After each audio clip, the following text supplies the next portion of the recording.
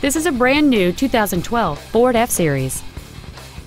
It features a 6.7-liter eight-cylinder engine and an automatic transmission.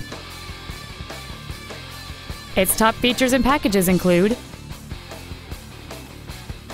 and traction control and stability control systems.